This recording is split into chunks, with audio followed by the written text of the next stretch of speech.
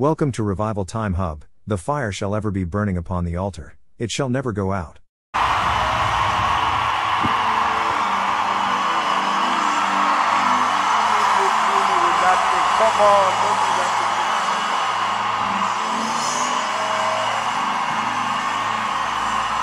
Hallelujah.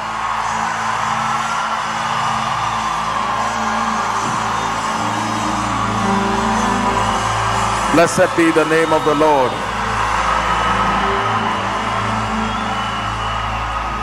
Amen. Amazing. I'm happy to be in Kenya again. Thank you. Thank you, Kenya. Amen.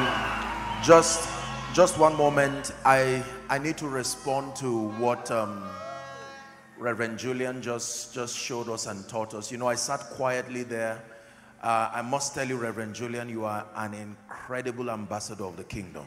This is remarkable. Remarkable.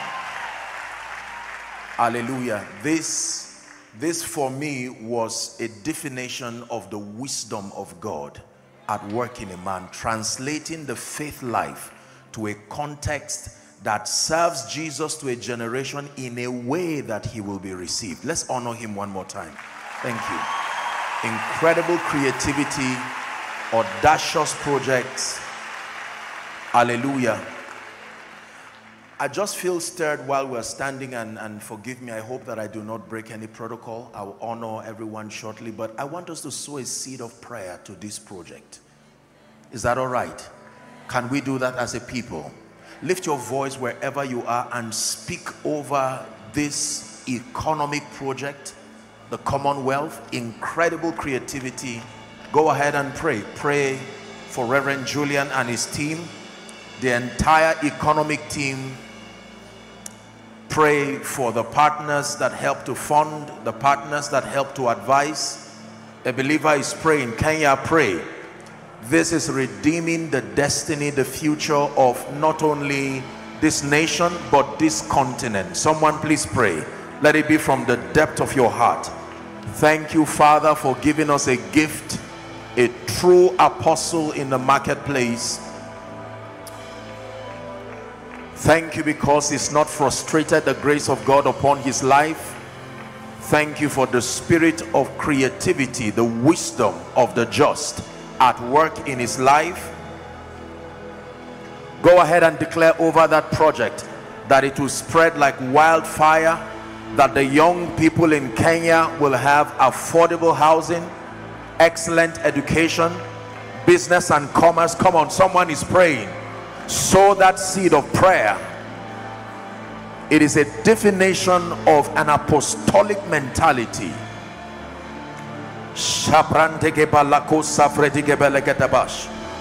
Pray that God will replicate that grace across the length and the breadth of Kenya that many young people will rise. Kingdom cultured young men and women they will rise and begin to spearhead innovation across the tech world across education across agriculture. It's time for the kingdoms of this world to become the kingdoms of our God and of his Christ. One more minute you are praying. Make that prayer investment. Pray over his health pray Elihu said there is a spirit in man and that the inspiration of the almighty maketh men of understanding. Maketh men of understanding. It was said about Daniel in Babylon that an excellent spirit was found in him. Declare that none of these projects will die the vision will not die. It says the Lord gave the word then it says great was the company of them that published it. We raise prophetic ambassadors across the length and the breadth of Kenya across East Africa across sub-Saharan Africa who will spearhead this campaign in the name of Jesus Christ. In the name of Jesus Christ. In the name of Jesus Christ. Hallelujah Father, we ask in the name of Jesus that you will empower your manservant. We pray that wisdom is multiplied upon him as touching this vision. We declare that it will not die. In the name of Jesus Christ, we declare that many other visions of this sort will rise even from this conference. In the name of Jesus Christ. Shout a believing amen and please, you may be seated. Reverend Julian, thank you so much. It's an honor to be here. I want to appreciate your spiritual father, our father, a father to us all, Baba. Thank you so much. And his dear wife, let's give them a big, big God bless you. Amen. And I want to honor all the men and the women of God here present. My apologies, may not be able to call you by name, but I deeply honor you from the depth of my heart. Thank you so much. The apostle from Switzerland, we met briefly whilst coming. The Lord honor you, sir, in the name of Jesus Christ. Hallelujah. Rhema Feast for me has become an apostolic convergence of like-minded believers. It's beyond just a conference. It's, it's become an apostolic convergence. And I like the way that it is not just limited to bringing spiritual information, but is translating the wisdom that is captured in scripture to a context that makes the church relevant to society. I've always been concerned about the applicability of the spiritual truths that we have and we know that kingdom truth must be translated to a context that is able to heal, to build, to deliver, to raise, and to establish if the truths that we know cannot translate to a better society, a healthier society, a more empowered society, then there is no reason why the gospel should be advanced. Are we together now? The Bible says, I am come, John chapter 10 and verse 10. I am come that ye may have life and that you have it more abundantly. More abundantly. Amplified says, to its fullest. And so we really honor great projects like this. And I like the fact that it is being presented here at conferences like this, that it's not some business conference somewhere because this is the business of kingdom. Hallelujah. And it is everyone's concern. This is the right atmosphere to sell this kind of idea. By now you know that the goal is beyond profit. There are better, cheaper and wiser ways to make profit. This is a passion like he said, there is a cause, a cause bigger than just an individual's profit. And we salute you for your sacrifice for this nation and the body of Christ. One more time, let's honor Reverend Julian. Thank you so much. Amen. Right, so I'll go straight to my teaching. I hoped that my session would be a prayer meeting uh, in the name of Jesus Christ. We're still going to pray, but um, the Lord placed a few thoughts in my heart as touching the theme for the meeting. When I got word about the theme, I it touched me very much because the unity of faith and the unity of the body has been one of my assignments and it's a passion for me. I have studied a number of factors across this topic and I decided to pick a few things to discuss uh, as we pray for my session. So let me plead that you lend me your attention. Hopefully it will be a brief session this morning or afternoon and then we leave and get ready for the evening session. Are you ready tonight? In one moment, I'd like you to cry for the spirit of understanding. Go ahead and pray. The spirit of understanding. Isaiah 11, the spirit of understanding. The spirit of understanding. The Bible says, in all you're getting, get understanding. Someone is praying. Let it be from the depth of your heart. My heart is open, ready to be enlightened in the name of Jesus Christ. Amen. I'll start this morning or afternoon by reiterating the fact that your excelling as a believer in this kingdom is dependent on the quality of light that you have access to. Please listen very carefully. Your excelling in this kingdom depends primarily on the kind and the quality of light. Light meaning spiritual illumination that you have access to. In John chapter 1 and verse 5, the Bible says, And the light shineth in the darkness. It says, And the darkness comprehended it not. In fact, the Bible puts it this way in Genesis chapter 1. He says that God called the light day, and the darkness he called night. God called the light day. You may have heard me say this that in God's economy, day is not when the sun rises, is when light comes.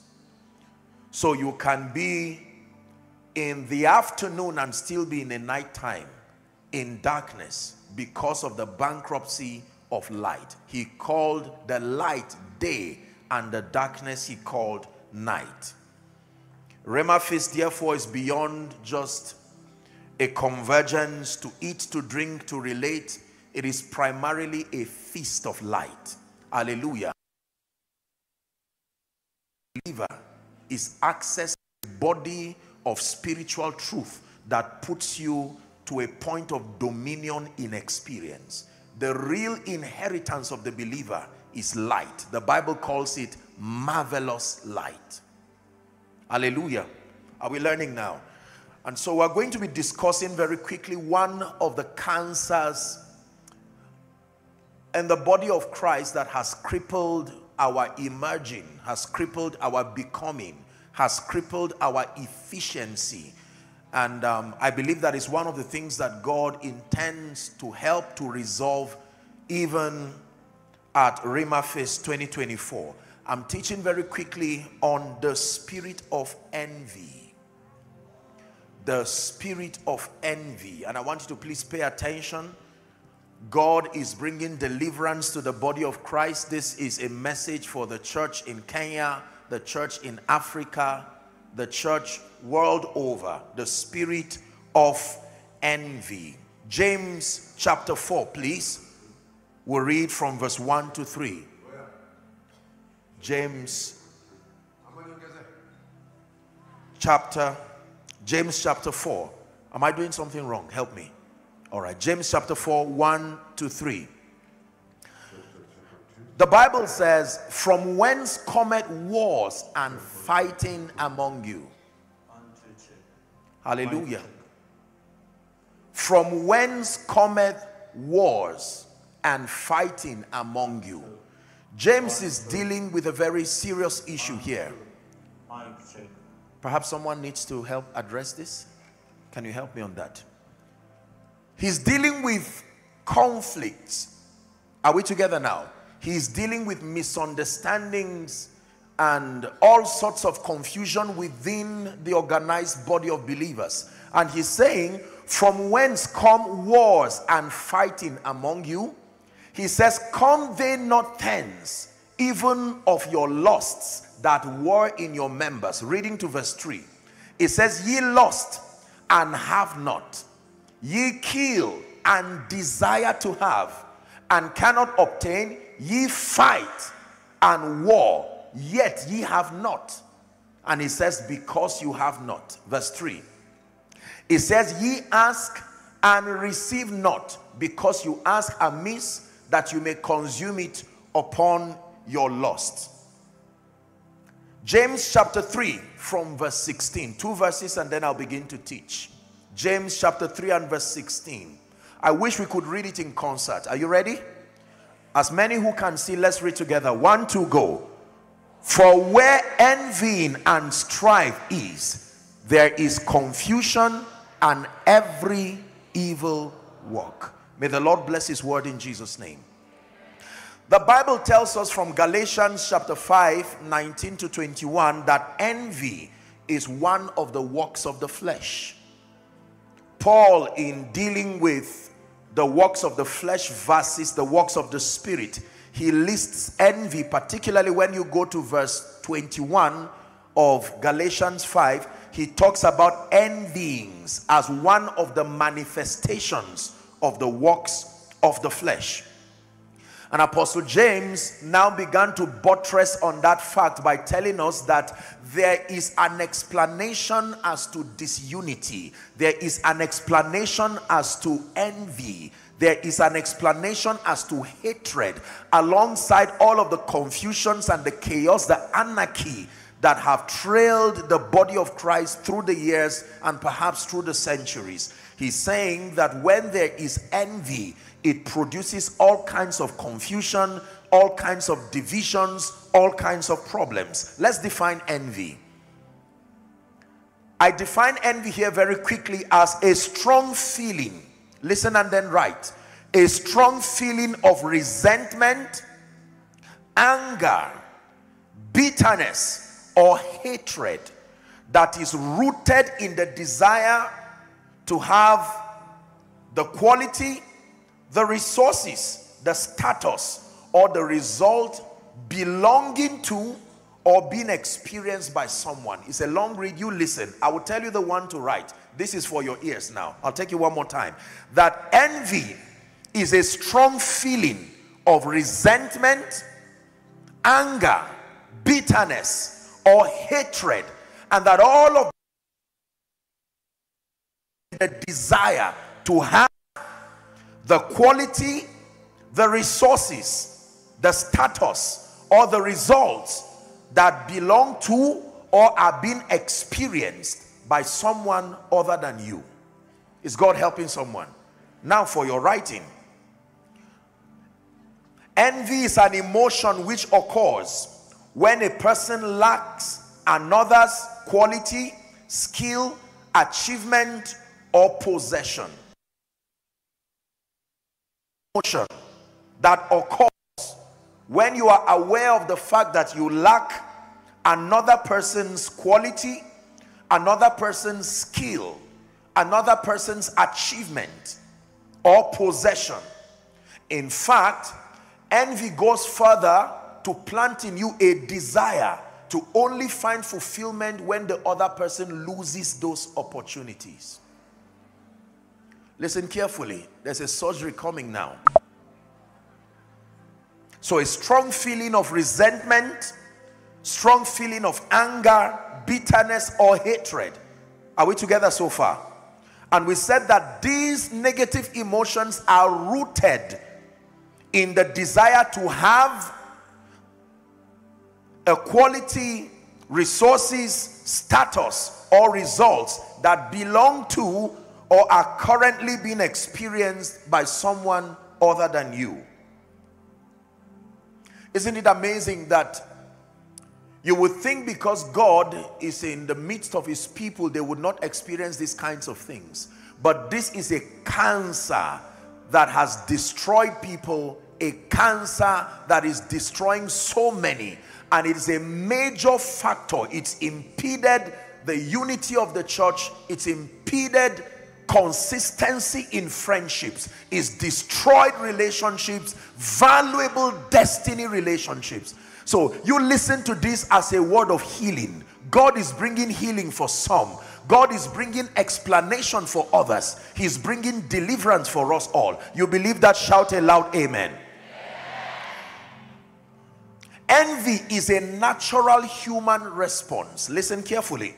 A natural human response in the presence of consistent results and achievements of others. It is a natural human response. That means that if you stand in the presence of an individual producing consistent results without you enjoying such a possibility that it is a natural human response this is where you need the holy spirit this is where you need to be spiritual are we together now it is a natural human response I'm reminded very quickly and I want to use this to give us three examples there are many examples of envy in the Bible but do you know, Genesis chapter 4, please, for reference, the first recorded case of death in the Bible did not come as a result of a demonic attack.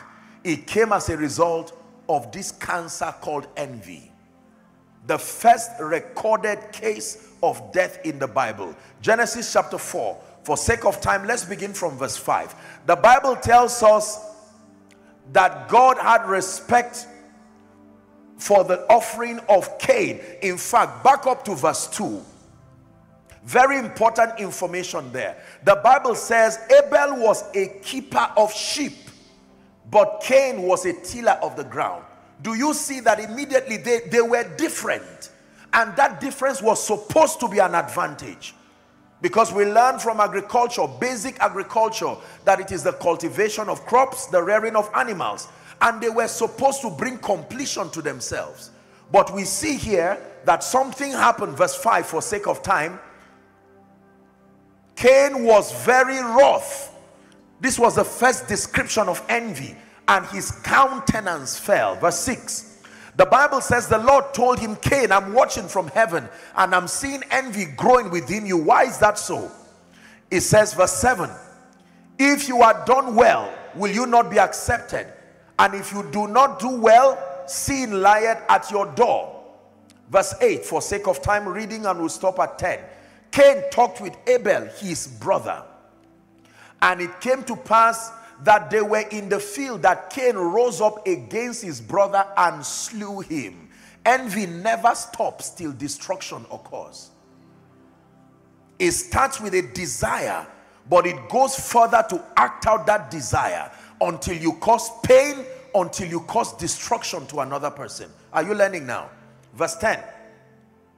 And he said, What hast thou done? Okay, well, God called unto him, Cain, where is your brother? And he said, Am I my brother's keeper? And then verse 10, he says, The voice of thy brother's blood cried from me unto the ground. And you know the story. So the first recorded instance of death as captured in scripture came on account of this cancer called envy. One more example Genesis chapter 37, please. And we'll begin our reading from verse 3.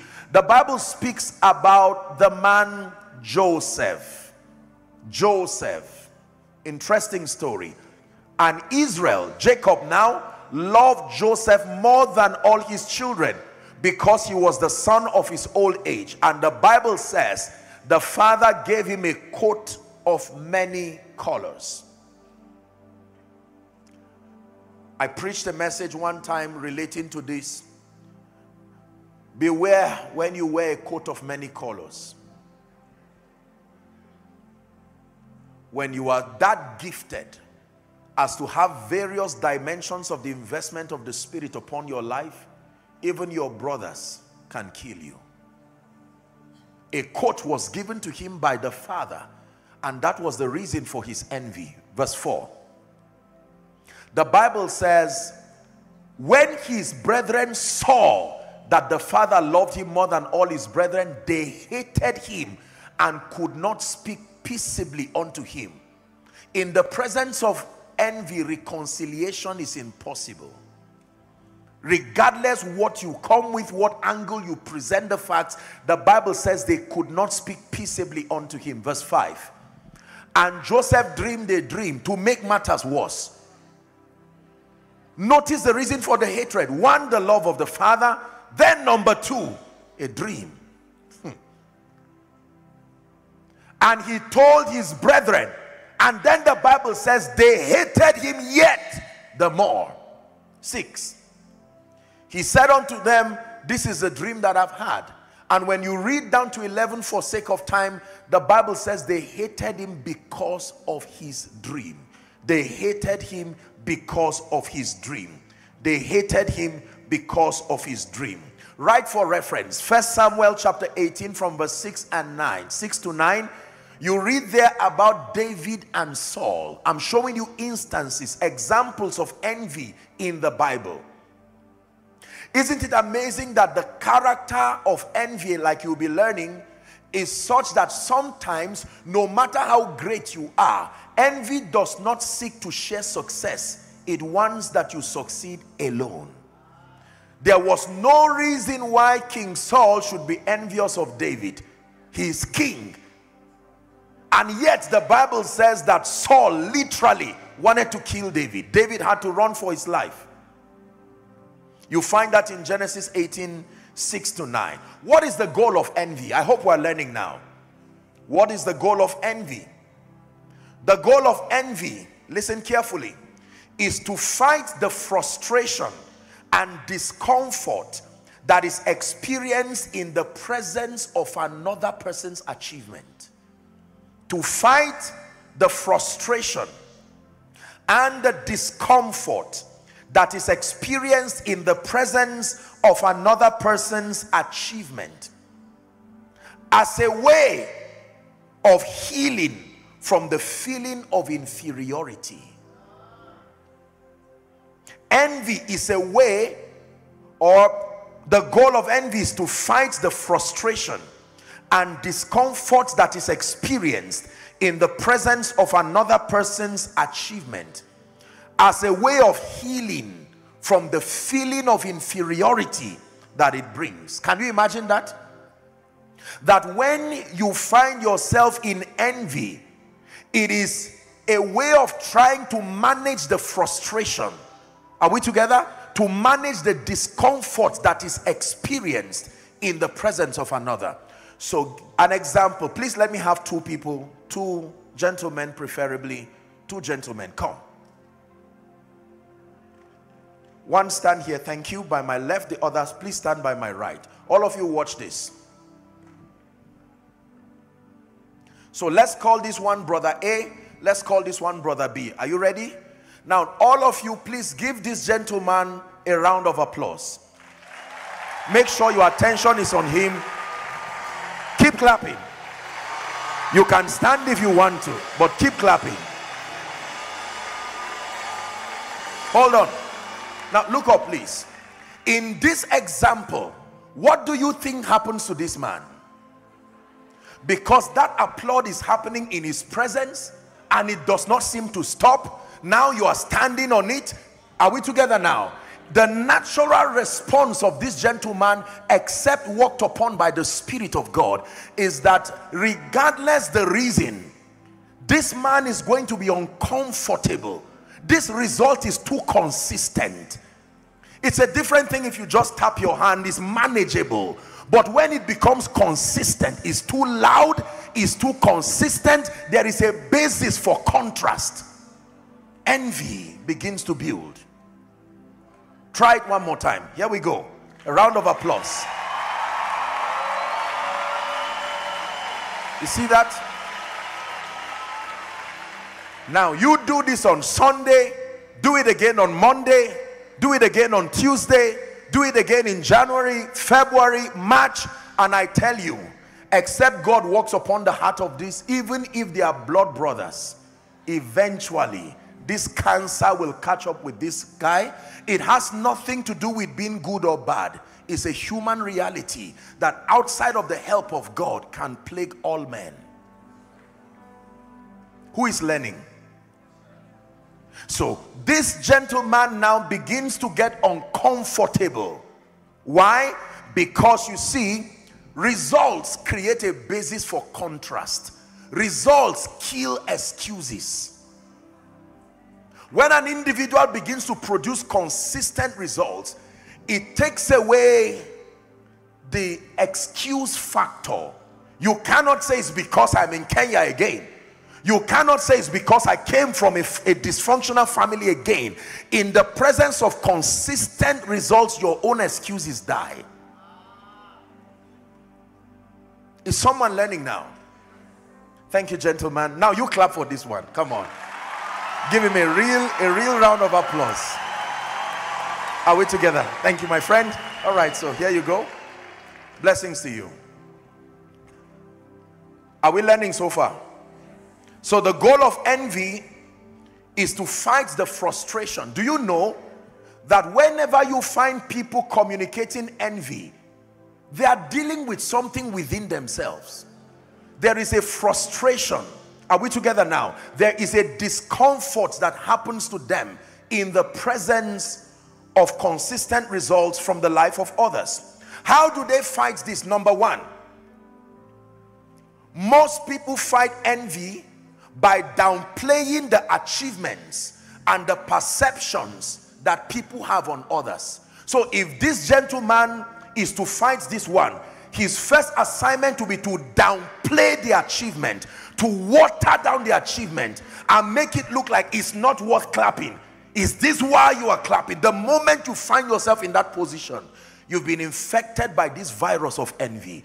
The moment you find yourself downplaying, demeaning the achievements of others or the perception that people have towards another person's results no matter how you argue it it is caused by envy are we together so someone can look at this incredible presentation by Pastor Julian and say, oh, well, I, I think it can be better. You see, once you, uh, it, it, the moment you begin to hear those things, I tell you, it is produced. You see, envy can use anything, a lie or the truth. The goal is not to sell you truth. The goal is to use that to water you down. It's, it's like a system that tries to equalize hmm. Don't say tell them it's a surgery. God is working on everyone. Reverend Julian, you invited me to Kenya again. I hope this is a good start.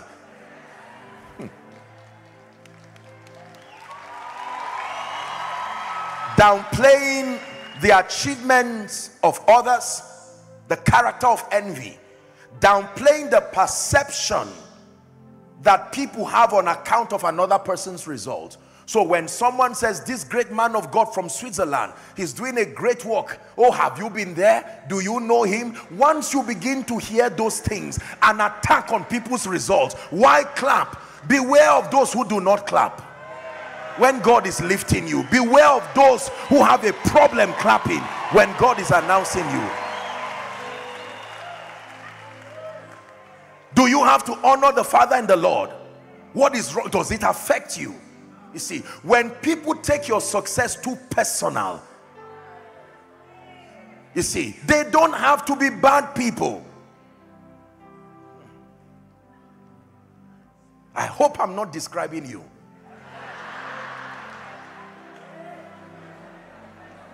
But if I am, welcome to Rhema Feast.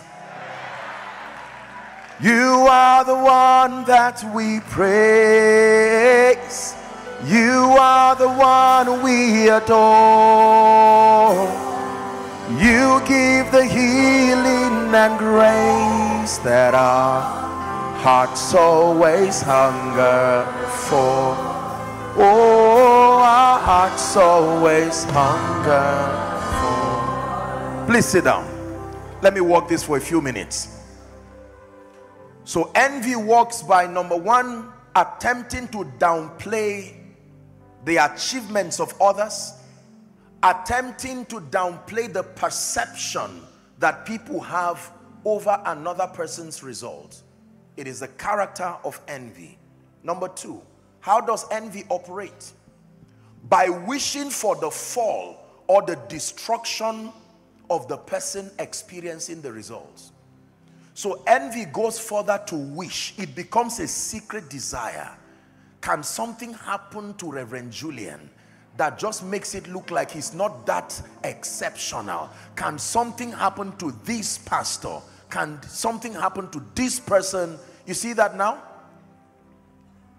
Do you know this was a situation with the Jesus and the scribes and the Pharisees? They so wanted him to die. They wanted him to die to a point that they were willing to release an armed robber. Let's honor our father. I may not know him, but please give him the honor that he deserves. May God bless you, sir. Amen. Hallelujah. God bless you, sir. Thank you. Now, please let me have your attention. What kind of anger over Jesus makes a people want to release back an armed robber? He's a version of what we would call a terrorist they were willing to make do with Barabbas again. They said, just let Barabbas come down. Let him continue to kill our children. But for God's sake, let this man die. Get him out of the way. Don't chain him. Don't put him in prison. Kill him. Envy for you. Envy so desires the downfall of others as a therapy, as a way to heal, when you hear that something happened she just lost her child you you almost want to hide the joy. You first feel the joy then you feel the pain. You listen to this. I will tell you the reason why the church does not seem to advance. Because if we do not conquer envy we will keep killing the visions of one another, using scriptural excuses, killing the visions of one another, rejoicing, hugging in the open, and then stabbing in the secret. Are we together? Hmm.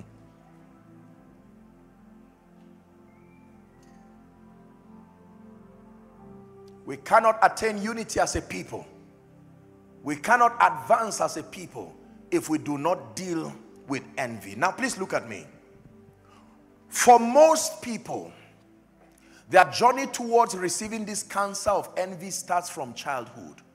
It doesn't matter if you're a preacher. Let me do psychology for two minutes. Forgive me. Most people do not know that there is a psychological explanation to envy.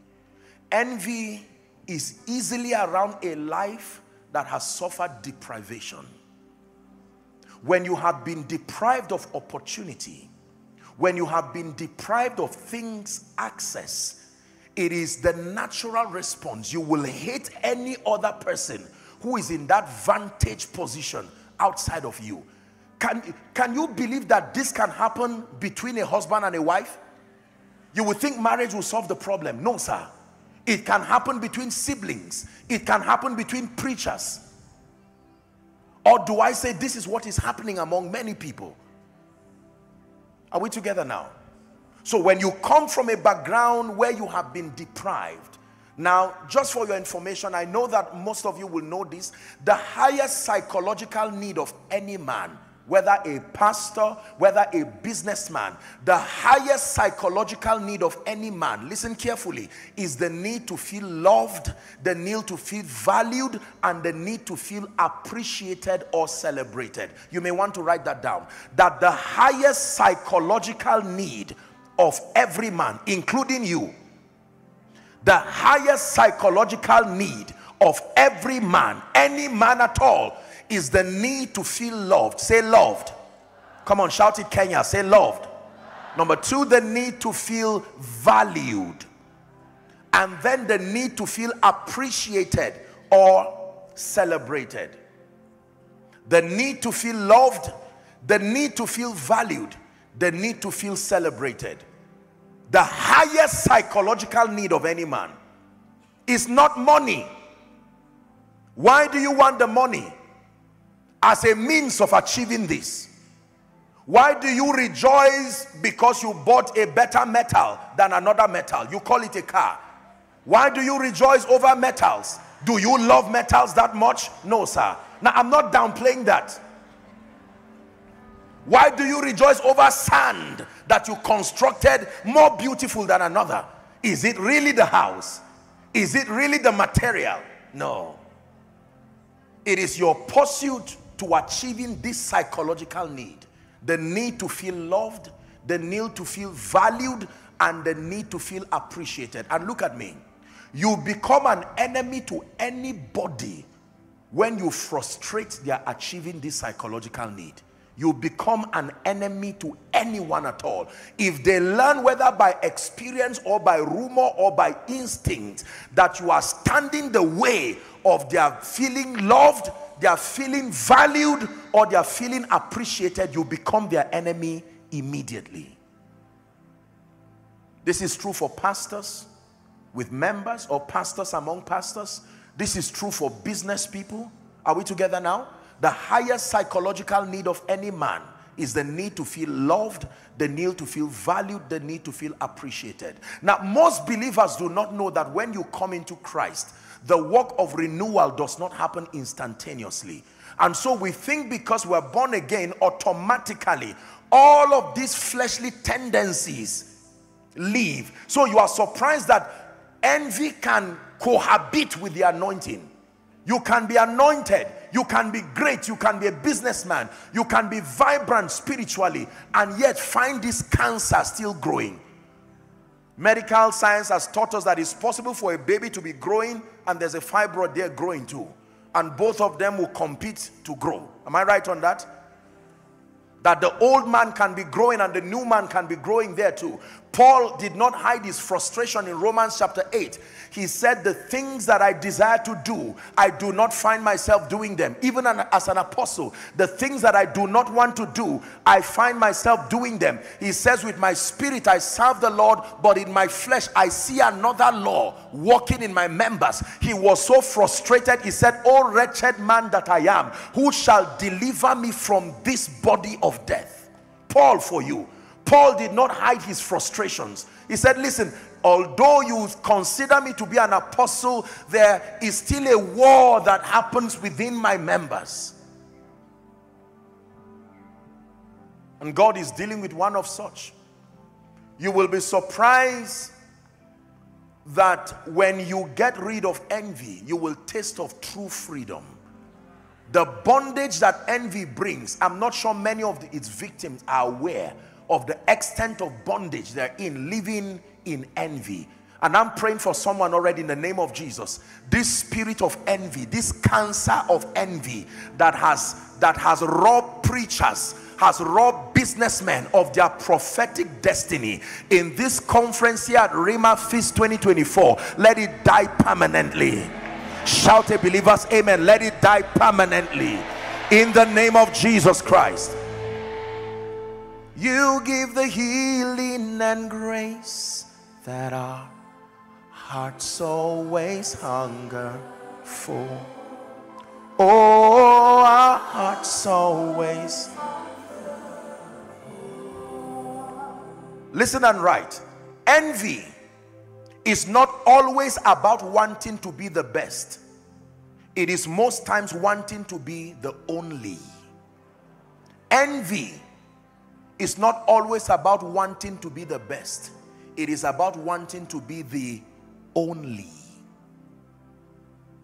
One time the disciples of Jesus, whilst he was mentoring them, they did not even know that envy was growing in their own hearts. They heard that the mother of James and John, remember the story? That she came to negotiate a position for them in advance. And she used that privilege as a mother to say, Jesus, when you are done with Caesar, when you are done with Herod, when you are done with all of this, please grant my sons an opportunity to sit at your left and your right. The Bible says when the other disciples heard it, you could imagine the anger in the camp. So you think we're here for nothing? I can imagine Peter saying, you think I left fishing for nothing? I wasn't doing bad after all. They all had their various agenda. They hid it and kept quiet. You see, envy can be quiet for many years. You will think you are free till someone comes with a result that is notable, that is consistent, and there it comes again. Are we learning?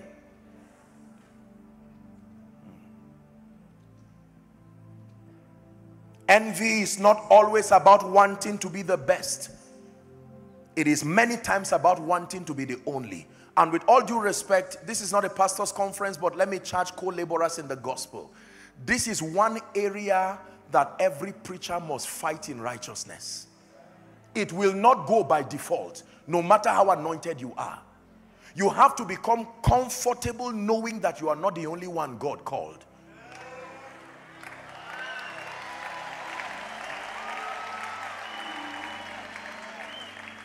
I'm going to say it again. You have to become comfortable knowing that you are not the only one God called. I know your call was so spectacular, but it was not only you he called.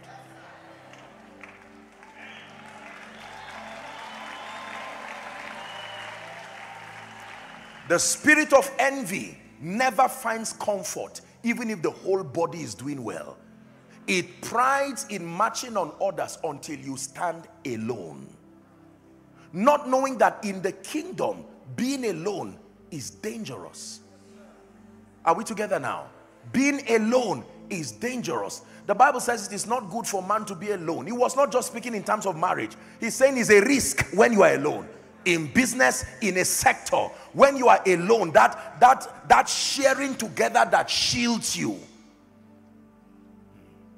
it is the reason why every man of God must seek to replicate himself. Your safety is in reproducing yourself. When you are alone, you become an endangered species. When the devil strikes you, a whole generation can perish because of the pride of one person. So he told Moses, he said, Moses, you are about to die. Pour your spirit upon others. Find rest so that they can ease this labor for you. Even Jesus himself replicated himself and asked the people, he said they should continue doing that. Envy does not find fulfillment in being the best or the greatest. It goes further to want to be alone. You must be comfortable knowing that no matter how spectacular your calling, your election, your assignment is, that you are not alone. One time, the disciples heard that there were other people casting out demons. Is it in your Bible? They were not part of the camp. And they said, Jesus, we need to do something about this. Our relevance is being threatened here. I thought we were the only ones. How could there be someone who does not honor Jesus? And yet I'm hearing that some things, can we call down fire? Let's end this in a hurry. And Jesus looked at them and said, the fact that you can think like this, you are not, I mean, who should be sad if you are with Jesus? That to me seems to be the highest honor everyone can have. That Jesus called you to be with him. And even in the presence of Jesus, people were still not comfortable. Hmm. Most times people say, Jesus, just give me Jesus and I'm fine. But now you have him and you are still not fine. Hmm. Are we learning? The disciples were with Jesus. Can you imagine? The word incarnate. And they heard that some fellows were trying to heal and all of that. They would have looked on them with compassion and said, My God, I wish Jesus would call these people, even if they are using whatever power. They said, Let's call down fire so that we end this. We have to be the ones doing this alone. Every time you think you are the only one doing what you are doing, you are already under the attack of delusion. Ah, there are many other sons. There are many other champions. There are many other warriors. Are we together? Do not make the mistake of Elijah. Elijah said, I am the only one. Say, ah, ah, ah, ah. You are a great prophet, but here you are missing it. Run away from that feeling that makes you believe you are the only one God is using. No, no matter how spectacular Reverend Julian, you invited me. Hallelujah. ah, don't worry, I'll, I'll, end by giving you the cure. So don't, don't, um, I'm a good doctor. There's a cure. There's both a vaccine and a treatment. Are we together now? But now I hope you are not just laughing. We're dealing with serious issues here. That a man can be anointed a man can be wealthy. Herod heard, look up please. Herod heard that a king was born somewhere. He said, find that king. I want to kill that baby. That the baby will not even see the light of day. Question. I mean, isn't it embarrassing to come to the palace and meet the king worried? And he said, king, what was the issue? I mean, is there war brewing up somewhere? And he says, a little child I heard that there's prophecy over that little child and I'm concerned about my place. Look at the age gap. The age gap is enough comfort to know that most likely by the time this child becomes an adult, he would be dead. And yet envy can make an intelligent person be that dull to reduce yourself and pursue mundane things A king threatened by a baby who is not even aware he's there. Is someone learning? I wish I would tell you that this does not exist among preachers, but it does. I wish I would tell you that this does not exist among business people, but it does. I wish I would tell you that this does not exist among brethren in church. It does. So here comes a powerful testimony. And while others are crying, someone is in anger. So the triplets finally came. And you are saying, how bedeviled can you be? That while others are crying and say, we rejoice for this woman, someone else. I can tell you it's a painful thing, but not everybody claps. when you are lifted. Hmm. There are people, your arrival brings an end to their dispensation. They will fight it. John the Baptist, who called Jesus to ministry and ordained him, Jesus himself submitted to John and the Bible acknowledged that John was the greatest of the prophets. Let me show you what envy can do. It can spill over to offense of all sorts. When John was done, he said it beautifully so that I must decrease, that he will increase. John would have left in honor. I do not believe he would have ended the way he ended, but in anger, envy. Now, Jesus, some of his disciples had left and they had gone to Jesus, remember? And John had so deteriorated, he got to a point where he began to discuss other issues and he found himself in prison. Watch this.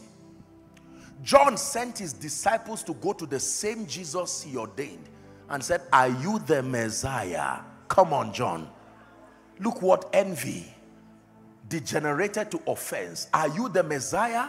John, who said, Behold the Lamb of God. John, who baptized Jesus, is now asking, Are you the Messiah? Even the scribes and the Pharisees had come to terms with the fact that he was the Messiah. Nicodemus came by night and said, We know that thou art a preacher sent from God. Don't mind what we do in the day, we already know. And here is John saying, Are you the Messiah? Or should we expect another? The language of envy, the language of offense. Watch Jesus. Jesus did not answer. He healed the sick and did all this. He said, Go back. Tell John what you have seen. And then he said, Blessed is he who is not offended in me. That's my answer to John. Go back and tell John, offense is about to destroy you.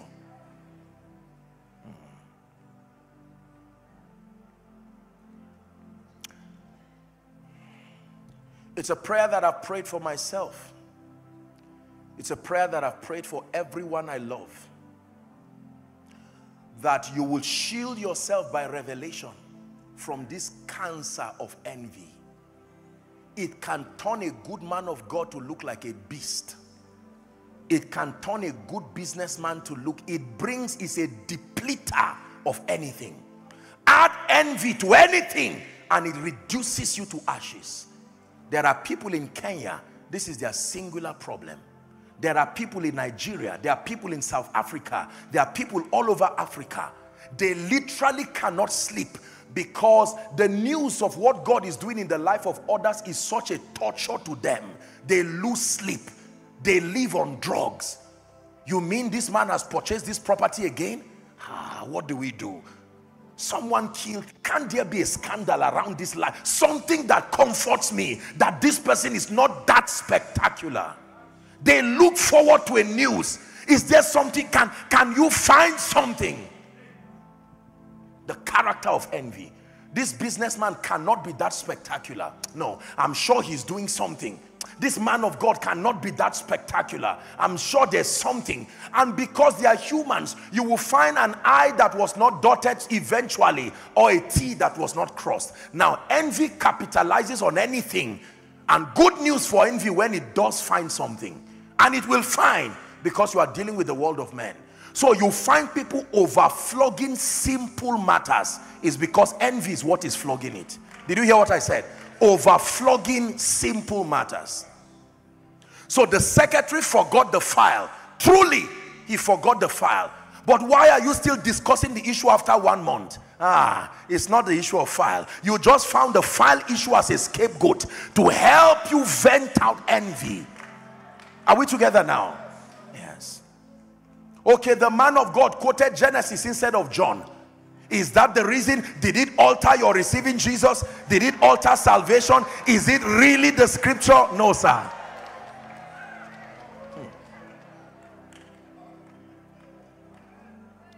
Oh, Reverend Julian put a wrong account number. He missed it by one. Oh, okay, so you correct it. No, something must. I mean, how could he miss that one? Is it really the account number? Envy hides in anything, especially truth. Because truth can also be used by evil. The Bible says Judas, even though this was not a case of envy, Judas saw a woman break her alabaster box in front of Jesus.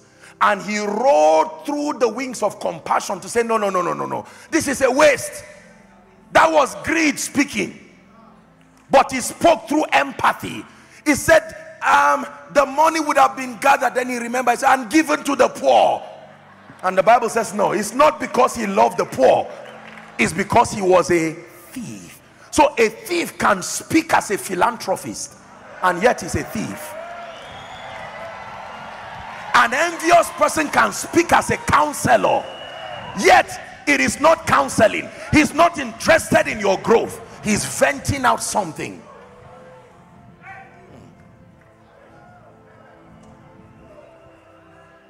Are we together?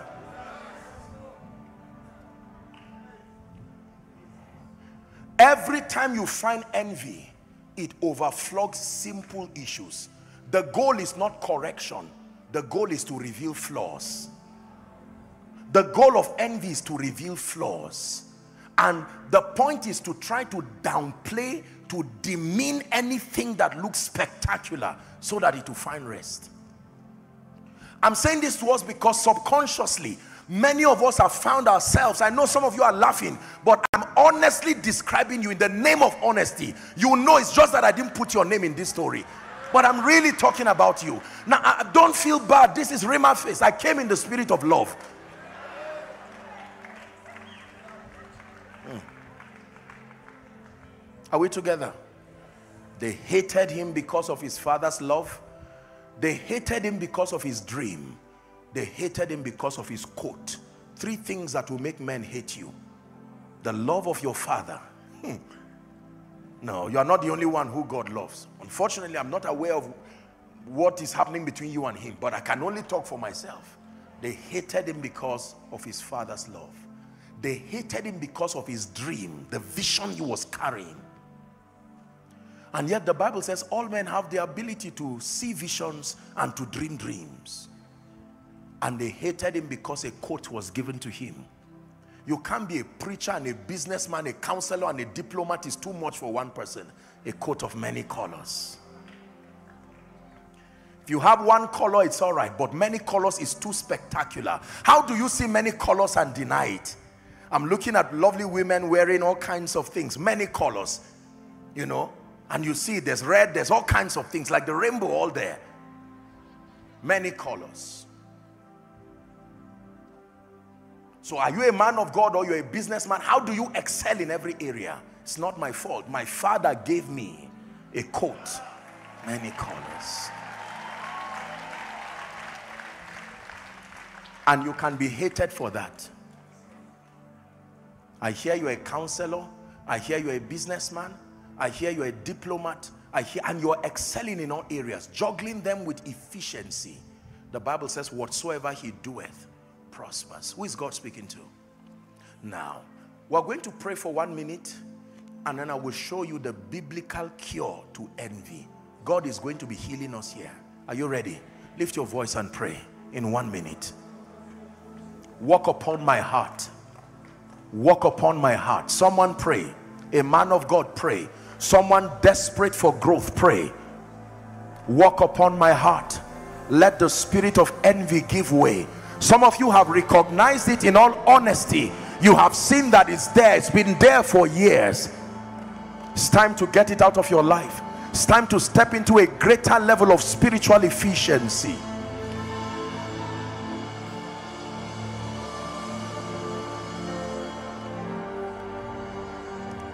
Ah,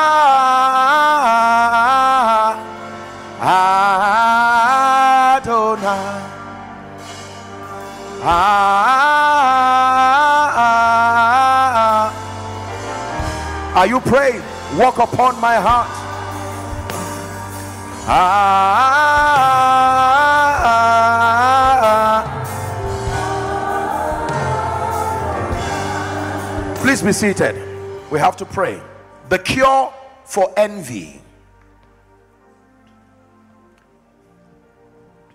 I wanted to start on a simple note this morning the cure for envy. We'll pray for the sick in the evening. We all need healing this morning. And that healing is not just the healing of your body. Because a broken spirit can dry up the bones. You can have a problem that is spiritual and it will tell on your health. Hallelujah. I want to give you by scripture the cure for envy and I give you a guarantee as touching the integrity of God's word that anyone who will engage this you will be free from envy.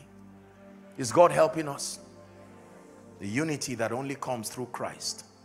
Number one, the first cure for envy is to recognize and embrace your uniqueness. Recognize and embrace your uniqueness and see your uniqueness as a blessing. Recognize and embrace your uniqueness and then see your uniqueness as a blessing. Recognize and embrace your uniqueness. Apostle, I wish I was that articulate and intelligent like Reverend Julian. Don't admire what may not work in your life. Focus on something God has given you.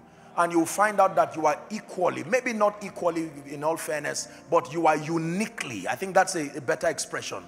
You are uniquely valuable. Hallelujah. Key number one, the cure to envy. Recognize and embrace your uniqueness and see your uniqueness as a blessing. Someone shout it to the hearing of the devil. Say, I am a blessing. Don't mind how you feel. Say it again. Say, I am a blessing. This is a healthy indoctrination that you need. Else you will not be able to survive in today's world. Pastor, you are a blessing. Don't tell me how many members you have. While you trust God for growth, recognize that even in that place, that church, you may not be the individual that people seem to be seeking around, but know this, that I'm a blessing. I'm not a burden to my world. I'm not a curse to my world. Someone shout it again, say, I am a blessing. Genesis chapter 4, we read that earlier on verse 2. The Bible says that Abel was a keeper of sheep, but Cain was a tiller of the ground. A tiller of the ground. A tiller of the ground. You may not have the, the privilege of being called into the apostolic or the prophetic ministry, but see yourself as a counselor with nobility. Do not see yourself less. And sometimes as ministers of the gospel, we need to be careful the way we downplay and demean other functionaries within the body. There is a way you, is is the same way with all due respect. Sometimes politicians sell certain offices. It makes certain offices look too, they over, uh, they exaggerate certain things and they make people not comfortable where they are. They want to desire certain things and they begin to fight and kill for it. By the time you give an impression that if you are not an apostle or a prophet or a pastor, I don't know what you are doing in the kingdom of God. Now you see, that that that idea already categorizes certain people and it puts them in certain uncomfortable positions. So, ministers of the gospel, we owe it to ourselves to appreciate the diversity within the body and to do it vocally so especially when you are in a position by the mercy of God where the nations can celebrate you. You would be in the best position to recognize and acknowledge others because now you are leveraging on that influence to make others feel good. Don't make people feel uncomfortable because you have arrived. No. In this place right now watch this. There are media people all across this beautiful place. Are we together? Whilst I am preaching, they are aiding your understanding if I mention a scripture with skill and intelligence. As anointed as you think I am, put me behind that laptop and see how I mess up your viewing experience. See that? And it will be foolish of me to not acknowledge the presence of such people. When I came in, I heard worship going on and there were lovely people dancing. I mean, look the beauty in this place. Someone's creativity is the reason why we are comfortable here. Do you know that individual is as important as the preacher who is preaching? Say, I am a blessing. One more time, say it again. I am a blessing. Apostle, I may never have the opportunity to hold the mic at Rhema Feast, but do not downplay your contribution. It is why some of us were able, I took a, a nice, uh, you know, glass of water somewhere. I was well taken care of in the green room. How do you downplay that creativity? They arrived here before me. They dressed up the place before my arrival. So you do not acknowledge the grace of God upon my life at the expense of their own relevance. I'm only in Kenya for two days and I return back. How about the pastors that labor over the people who are now here represented? How do you downplay them because you believe an anointed man of God just came? It will be foolish for me to believe that I can downplay all the pastors, the prophets, the intercessors, the prayer groups. You see that?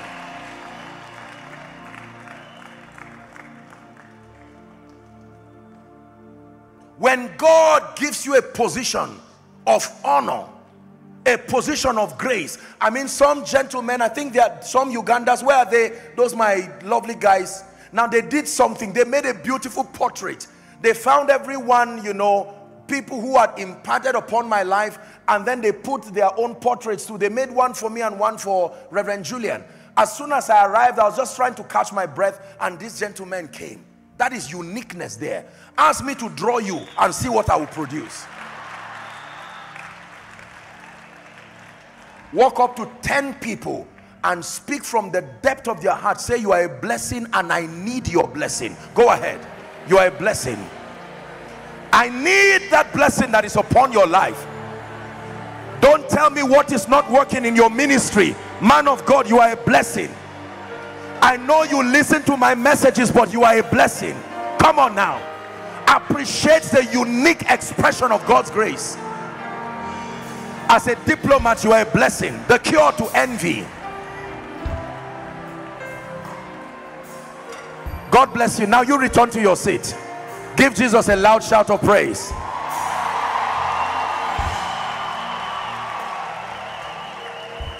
Hallelujah. Are we together? God bless you. Now look up, please. Look how healing that sounds. Even what you just did now. Do you know you just delivered someone? So I'm this valuable. I pray for you. You pray for me. I love you. I need you to survive. I won't harm you with words from my mouth. Hold on. I hope you meant that line of the song. Because some of you have torn others in pieces. You've used your mouth to tear businesses tear churches down. May this be a repentance service for you. Listen members too have to be careful. They are the ones who join the heads of pastors together. Saul killed 2,000 David killed 10,000 oh dear Saul. And Saul says where is David? Let me kill him the women caused that trouble. Now, now, women, I love you. I mean the women in the Bible. Are we together? They began to sing, honestly celebrating a valiant man. And they said, Saul killed how many thousand? 1,000. Now David has killed 10,000. And the news got to Saul. Ah. So, I think we need to kill this man. Listen, we must be careful even how we express the things that we call testimony in church. With all due respect, and I don't mean to bruise your ego, it's too early, I'm just arriving. But, but, but, help me round up on time. But, just, let me just have your attention. Don't come and give a testimony like we were 10 in a bus from different churches. Then there was an accident and I was the only survivor and it is because of the prophetic word Joshua Selman gave over my life. That may be a sincere testimony, but these are the kinds of trouble we cause. Kenya, help men of God love one another.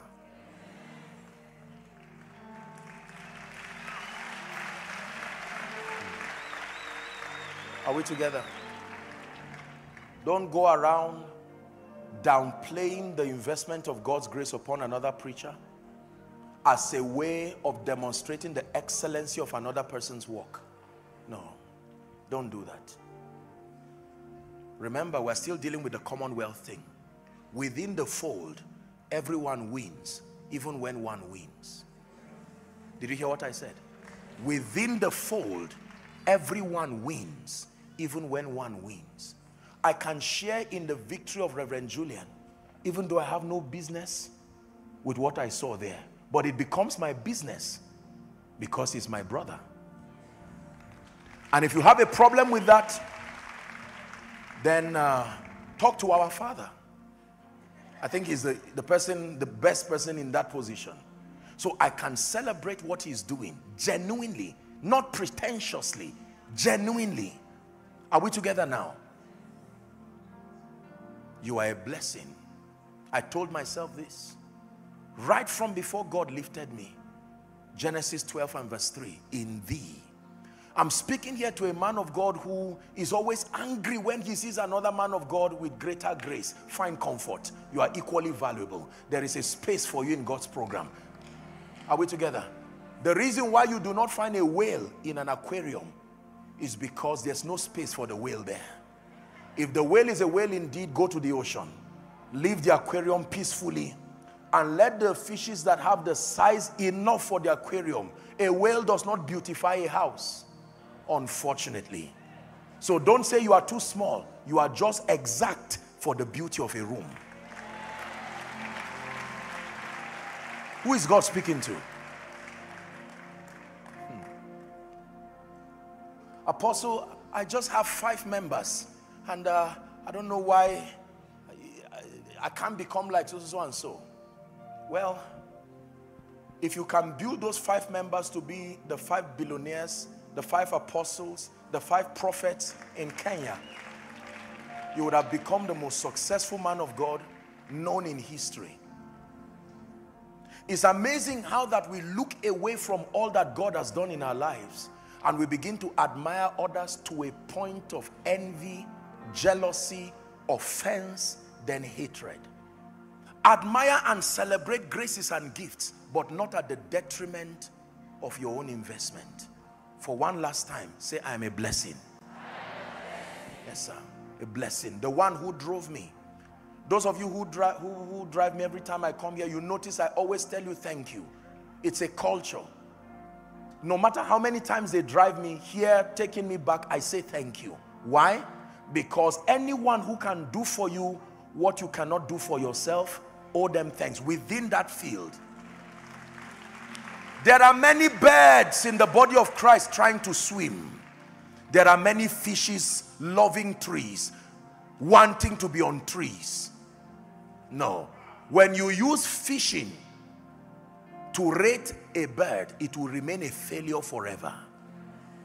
There are birds that can touch the sea briefly to pick fish, but they are not meant for the sea.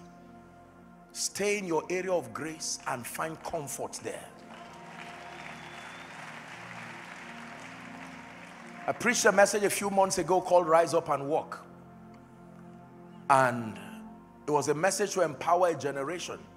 The miracle that happened at Gate Beautiful was only the final phase of the miracle.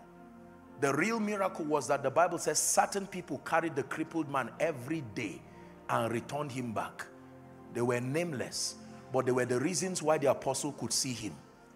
They carried him every day. Every day the second miracle was that the man agreed to be carried. There are people who are crippled, but they will never agree to be carried where they will be healed. Rise up and walk. Number two, God is healing someone right now from envy. What is the second key? The second cure to envy gratitude. First Thessalonians 5 16 to 18. Gratitude. Gratitude immunes you. It immunes you from the spirit of envy. Gratitude. Give it to us, please. First Thessalonians 5 and verse 16. Rejoice evermore, it says, pray without ceasing. Then it says, in everything, give thanks. For this is the will of God. Your condition may not be the will of God, but the attitude of thanksgiving in all conditions is the will of God. Can I tell you the truth? Everything you thank God for grows and it multiplies. And your appreciation of it also multiplies. Philemon chapter 1 and verse 6. Here's what the Bible says. That the communication of your faith might become effectual through the acknowledging of every good thing that is in you in Christ. I like that. The acknowledging of every good thing that is in you in Christ. God gave you beauty, don't shy away from it. Thank you, Jesus. And if you think that's not a great gift, pray that God takes it away. Then you see how many things will be left. Are we together? God gave you intelligence that the communication of your faith becomes effectual. Lord, you gave me intelligence. I thank you for it. You gave me acumen for leadership. Thank you. You've made me a pastor so desired by many people. Thank you. You've made me a businessman. You've given me ideas. In the night, ideas come and I've been able to build several businesses. Someone shout it from your spirit through your mouth. Say, thank you, Jesus. One more time, say, thank you, Jesus. Yes, thank him for all that he's done. Thank him for his faithfulness. When you get up in the morning, look yourself at the mirror and say, thank you. I'm wonderfully and fearfully made. I'm a testament of God's love. He's loved me with an everlasting love and with his loving kindness, he's drawn me to himself. Lord, thank you for giving me this ministry. Thank you for giving me these children, still struggling with the third born. He's still stubborn, but I, I thank you that he's alive. Thank you that he's in a house where um, he can be changed. Thank God for what he's done in your life. It is difficult to be thankful and to complain. It is difficult to thank God and be envious. Lord, you gave me this. You gave me that. The story, the parable of the talent is very instructive. I don't know why God gave the man two rather than five. The Bible says according to their several abilities. But do you know the same commendation the man with 10 got, the man with two also got. I used to think that there was no difference until I learned that the conditions that surrounded that, the temptations that came to all three was different. The man with five had the temptation of pride and complacency. He had the greatest talent. He overcame that to multiply it. The man with two had the temptation of envy, knowing he was second place, but he still overcame and most likely was mentored by the man who had five to have replicated the same result. The man who had one, you see that it was mercy that even brought that one.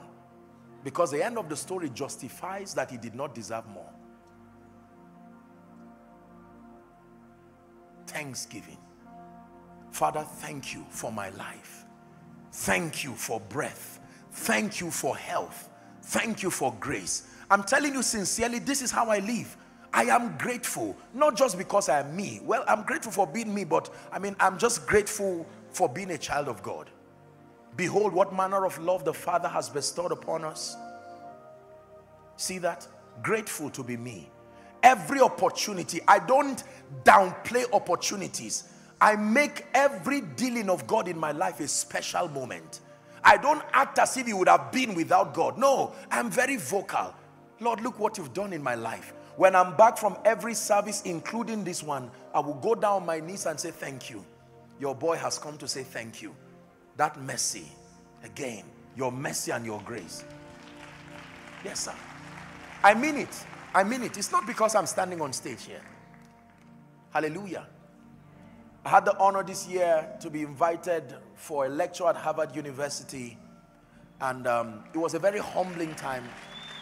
Not to preach, to deliver a lecture, it's a great honor. It's a different thing if a church calls you to speak. But when an academic institution, one of the most prestigious by any standard, that they call you as a preacher, I'm not an academician. I don't consider myself one. I'm passionate about knowledge. But to invite you, an institution will not risk their reputation on sentiments. And so I remember getting down my knees. I said, Father, thank you. If it ever happens good in my life, you are the reason. And I say, thank you. Someone needs to say, thank you, Jesus.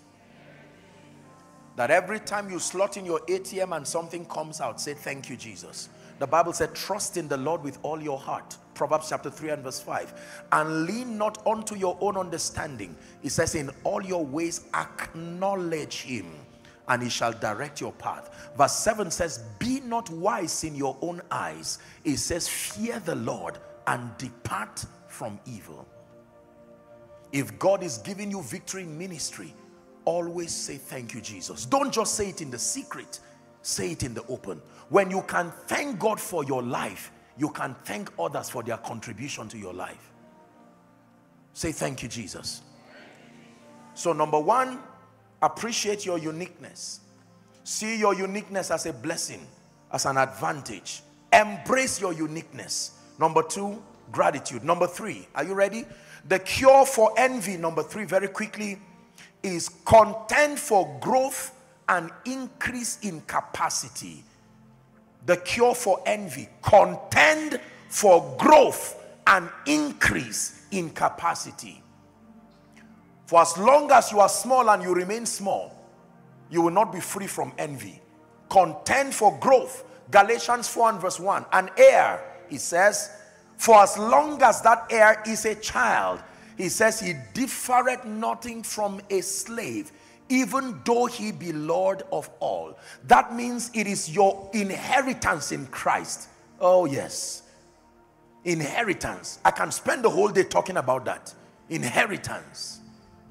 That the inheritance that a believer has is not unique to any one believer. The inheritance that the saints have in light is generic. Access to grace, access to wisdom, access to the Holy Spirit, access to the resources of the word, and that you can use this as tools to create a great destiny. The Bible says the same Lord is rich unto all. The same Lord is rich. He does not show favoritism. God does not have grandsons. He has sons. Sons. Behold what manner of love the Father has bestowed upon us that we should be called the sons of God. The Bible says, now are we the sons of God and it doth not yet appear what we shall be like. But the Bible says, um, that's Romans chapter 8 from verse 18. It says, I reckon that the sufferings of this present time are not worthy to be compared with the glory that shall be revealed in us. Verse 19 says, For the earnest expectation of the creature awaited the manifestation not of one son, not of one unique son, not one apostolic son, not one prophetic son, the sons of God that means there is a place for you that table of greatness has a place for you but it will happen by growth and capacity. Growth and capacity. Please look up. There are many people who are victims of envy today because there are many requests. I was teaching my people and i told them many things we call prayer requests were supposed to come to your life naturally through growth. Growth can deflate a man's prayer request. Many of the things that we say, God, bring to my life, were designed to come through growth. If the vessel is small, it makes the oil look small. The oil is never small, but it assumes the shape of the container carrying it. You see that now? We can all be great. We should all be great. It's in our corporate destiny as believers. Let me repeat that again, choosing my words carefully. It's in our corporate destiny as believers to all be great. Literally be great. In business, in ministry, in politics and governance, in leadership, in every endeavor in life it's our corporate destiny. But there's no potential for glory to anyone who does not contend for growth. Contend for growth. Luke chapter 2 and verse 52. And Jesus increased, increased, increased in wisdom. Your Jesus increased in favor. He increased in stature and in favor with God and with men. With God and with men. Someone say, I will grow. Shout it, say, I will grow. Say it again, say, I will grow. First Corinthians chapter 3 and verse 2. Man of God, you can grow. You can become a greater version of yourself. Businessman, there's no point envying another person. There's space for you. You don't find, you hardly find two aircrafts crashing in the sky. The space is too wide. No matter what Boeing, whatever it is, once you only find traffic on ground. Once you lift to the sky, there's enough space. Enough space. I have fed you with milk and not with meat. Why? For hitherto you were not able to bear it, neither are ye now able. There are many of you, God wants to do much in your life. As a man of God, it's in your corporate destiny. There are certain anointings that come to your life, but they were authorized to come to a certain version of you. That anointing has not found the version it is looking for, so it keeps going back. It will have to wait until you grow.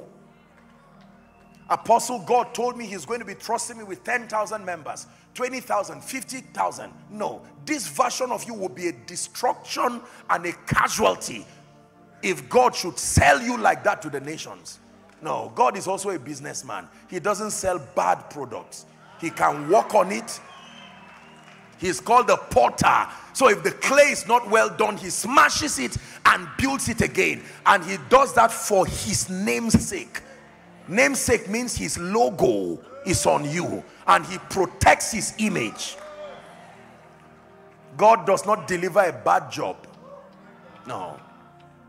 When you see a Louis Vuitton or a Gucci or whatever it is and you look at it and that shoe you see something that you just know that someone someone has brought in a fake product because even though the right logo is there, there are, there are certain indices you have to find, the detailing. And when it is missing, that's how God is. So when you are bankrupt of character, bankrupt of this, God says, no, putting an anointing on this kind of person now i rather walk on the person so while you are fasting for power what god will be working on his character first and you're saying lord is it that you can't bring just bring the anointing we'll deal with character later on God says, no, I don't walk like that.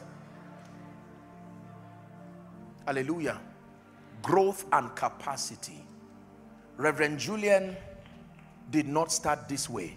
I've had the honor of attending the Rhema Feast for a few years and I've seen the growth and progression. Do you know, when you grow, everything grows. Stop trying to get everything to grow. Just grow. When you grow, everything will rise to match your growth. Don't try to change friends when you've not grown. And everybody, you draw people who are in your future.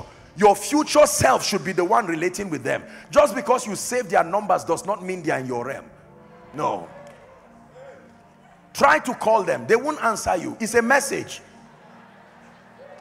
Imagine, I hope you are not insulted.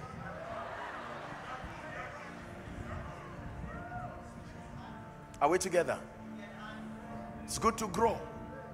It's like someone, with all due respect and not to insult you, it's like someone who buys the latest SUV that came out this year and you find the person with a gallon hoping to look for fuel and put inside. You are not there. Because when you grow, all the things that support that level also grow with you. Relationships, resources, access. This is one way you measure authentic growth. When you become wealthy by stealing, there will the equation does not balance. Something else will not grow that should support that. If you are just looking for an experience to challenge yourself that's fine. But i mean if you want to exist in a realm no. There are some things you should preserve your honor and live until you grow. So sometimes when god hides you it's his way of meting out mercy. So that it, it matters how you are sold to the world. I, I hate to use that word, but I hope you, un, you understand what I mean. When you sell a product, you are causing people to desire that product. And you have to, because impression matters. Impression matters. So God wants to fix you, to work on you, adorn you, and then tell the world, this is what I can do with people who are yielded. And in one moment, you become a voice of healing. You become a voice of grace. So stop coveting certain things in anger and envy. It is already in your destiny. Just grow to the version that would have that. Apostle, I'm trusting God to be able to host a meeting like this by myself. Okay? Um, let me speak as a consultant. So show me, let me see. I can tell you without prophesying. I can tell you whether you are wasting your time or whether it will come to pass. Show me the capacity, the network. Are we together? Do you know how to negotiate for these kinds of things? Do you know the factors that need to be in place for such an event to hold? I don't think I'm not interested. Then you will not have it. And the greatest way to step into a destiny you desire is to appreciate the one that now models for you what you desire while learning from it. That's why I celebrate and respect all the pastors who have left their busy schedules to come for Rhema Feast to be inspired and to learn. Two things. To be inspired and to learn. If you see a level of excellence here beyond what you know, don't assume you've always known it. No, your results show you don't know it. So learn. Learn with humility. When I sit here, I learn. I learn. I'm passionate about knowing what else is not working in my life. Don't be embarrassed. Learn. Learn. Why do I invite people and they don't come? Learn. The, the labor of the foolish wearieth every one of them because he knoweth not how to get to the city. There is a way to influence. There is a way to power. There is a way to access resources. How did Pastor Julian coordinate favor from all of these parastatals, these businesses that are in partnership with him? He was not born that way. Men define their possibilities through growth. They define their possibilities through growth. Businessman, Thank God for what you have done. But if you remain small and you don't grow, you will envy everybody. Man of God, thank God for where you are. But do you know there are greater, there are still virgin dimensions in the spirit. Contend for growth. And the way you do it is by coming for events like this to expose you to what God can do with a yielded vessel. You go back provoked unto godliness. Not from a standpoint of jealousy Lord, the same Lord is rich unto all. Let me carry this fire to my nation too. Let me carry this fire too. I remember many years ago, I used to watch Reinhard Bonnke. Please sit down for a moment. I used to watch Reinhard Bonnke. I attended his crusades. I mean, I saw tens of thousands of people. Very unassuming personality. And worst off, he would come and preach a very simple message. Annoyingly simple sometimes and you know, when you have an investment of God's grace, the spirit of revelation, it comes with pride too. So sometimes you just to shelve those things. If it's not working in your life, it is not there, period. You've heard my story. I think I've shared it many times in Kenya.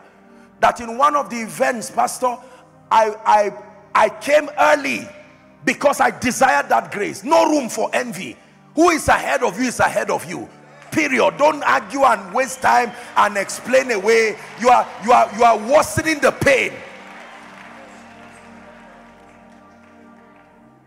Are we together? I remember i went for the crusade ground to the crusade ground with with hunger.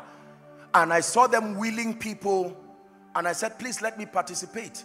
And they said, well, you're not part of the committee. I said, I travel a long distance here, committee or no committee. I have to serve this grace. I held onto the wheelchair. God is my witness. I was wheeling them to the front. And I said, Lord, this is how it will also be in my meetings. No room for envy.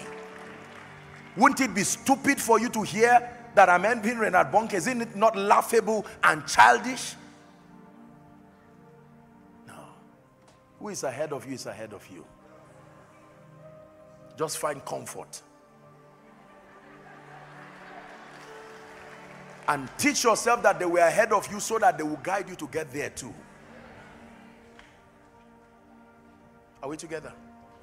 When I was watching Pastor Julian as he was just churning out these strategies, I said, My God, you see, this grace bar, if it's not on your head, it's not there. I'm telling you. telling you. Daniel chapter 2, it says, Then the secret was revealed unto Daniel. If, if it's not, you can crack your brain and read books, but once it doesn't come, it's not there. But when it comes, it shows. I'm praying for you. That which is meant for you. Because you have come here to contend for growth in the course of this conference. May the mantle for the new, the grace for a higher dimension, may it rest upon you. In the name of Jesus Christ when I came in here and I saw our father in the Lord, I was so happy to see him and we just exchanged pleasantries and I was eager to ask him questions. You see, this was a man that most likely when I was born or when I was a child, he was already interpreting at the crusades of Morris Cerullo here in Kenya. How do you now come to compare yourself? Because of crowd or travels? It is the foolishness of the younger generation. It is the reason why many fathers are dying with their mantles. Because we do not know what weight is in the spirit. A man may pastor 10 members, but the weight that man carries in the spirit. There is something called a kingmaker anointing. Kingmakers never become kings but they enthrone kings and dethrone kings. So be careful. There are people you see who may not have a semblance of certain results, but there is, there is a depth, there is a covenant they have with God. You would have called Anna the prophetess a failure, but it was her. She was one of the three prophets that spoke to Jesus and spoke over Jesus. And so when I saw him, I was in a hurry to honor him. When our father here, I do not know him. Please sit, sir. I almost feel embarrassed that he's standing. You see that? Apostle, do you have to do that? That's why you will not rise. That's why many young people will not rise. Because they won't learn. Take what I'm saying seriously. You are here and you insult everyone. Once I am richer than you, have more crowds, I think I'm better. No, sir. It doesn't work that way. There are rankings in the spirit. Acknowledge it with comfort. Are we together now? Yes. When I stepped out of the hotel, the man of God, I'm just seeing him for the first time. He just greeted and we exchanged pleasantries and I acknowledged and honored him. Find comfort in knowing that if I grow or when I grow, that grace that I covet. Some of you, the people you now admire, the truth is that your calling and your election is even greater than the grace you are envying. But because you have not grown, God will have to make do with the vessel available until you rise. You are admiring prophets or apostles not knowing that you have been ordained to be a cutting edge apostle, a cutting edge prophet. But because you have not grown, every scripture you quote is wrong. Come on, go back and do your homework. Don't say, God, just anoint me anyhow. Be serious. Read books on church administration. Read books on leadership. Settle down, pray and fast. Build character. Build your word content. Build genuine power. And then the gates of the nations will be open. So don't go around coveting people's. Listen, don't covet a man's crown without coveting the cross that he died in. It's the cross that leads to the throne. Are we together? How did I get here? Let's round up. Please sit down. Please sit down. Please sit down. I'm trying to be as soft, gentle, and brotherly this morning. So, number one, recognize and embrace your uniqueness and see it as a blessing. Just help two people. I just saw light. My God. Light. Light. Shama Sabalika Parodia Sebati. You are stepping into a level of grace. We'll leave that for evening. Light. As I just said this, I saw light, just like a flash of light. Light. There's someone God is saying, I should tell you that you have tarried long enough in this realm there is there, there are dimensions you have entered but offense and bitterness has stopped you. God sent me to preach this message. You are truly a man of god and there is grace upon you. You are in the making. But you tear down everybody. Tear down. You admire them sincerely and covet what they carry but you fight them as a way of dealing with jealousy. You will never get that get it that way. God is speaking to you. Let let this teaching be a circumcision a cutting away of the old and to bring you into the new hallelujah preparing for the new please write this we have to finish I've given you three number four the fourth key to deal with envy is to submit yourself to prayer. James 5 13. The spirit of envy is an affliction. And the Bible says, Is any man afflicted? It says, Let him pray. Father, this hurt and this hatred I have towards this preacher this woman, this businesswoman, it is demonic because the character of love is not that way. You go back rather than arguing things around, go and deal with it. My God, ah, there's such an open heavens here. I thought that this would leave this for evening, but what is God doing now this afternoon? Elande sabalako sabraki barandu sieta. Keleke para shadila maro sevirestis you have fasted you have prayed hear what i'm saying you have fasted you have prayed this is a prophetic word for someone god is saying i should tell you deal with envy and deal with lust. Two things. There is a man of god this is a prophetic word for you. The lord is saying you have fasted and you have prayed but what is stopping you from entering the anointing of the new? Deal with envy and deal with lust. These two things. When you get them out of the way the mantle of your destiny will fall upon you. Write it down. Envy lust. This is a prophetic word for a man of God deal with it. Deal with it. Submit yourself to prayer. You see the greatest assignment of prayer that I know is for your growth and transformation Reverend Julian. Men can pray old carnal flesh sensual version of versions of themselves and pray i always give the example of a snake molting. Have you seen how reptiles molt? They come out of their former self. That's what prayer does. Luke 9 29 and as he prayed the fashion of his countenance was altered and his raiment became white and glistening. You can pray yourself into a more spiritual version of yourself. You can pray out jealousy, pray out envy, pray out, you know, backbiting, pray out the desire to rejoice over the downfall of others. When you find that cancer around, shut down and go for a retreat. Why am I envying my sister? Why am I envying another man of God rather than celebrating? I hear the uh, good news that this is what God is doing with Reverend Julian. Why, why, what is this thing that is forming in my heart? You lock yourself in the place of prayer. Satan, you will not get a hold of me. Not this time. I'm a matured believer. Shamaka parakatoskiata. Paruskatia. Break out of that shell of flesh Somebody say, I will pray. Shout it, say, I will pray.